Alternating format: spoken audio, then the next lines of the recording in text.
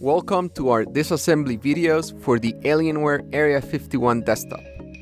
Before you begin with the disassembly, make sure to review our electrostatic discharge and precautions video.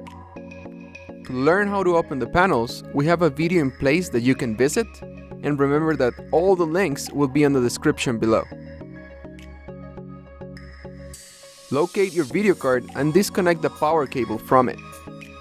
Make sure to press the latch to remove it. Next, open the security door on the back. This will release the backside of the video card. If you own more than one card, remove the video card bridge as well.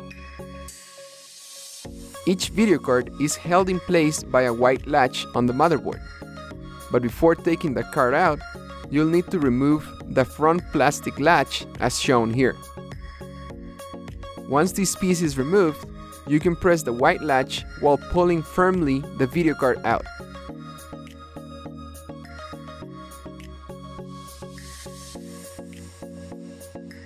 The reassembly process mirrors the removal of the video card.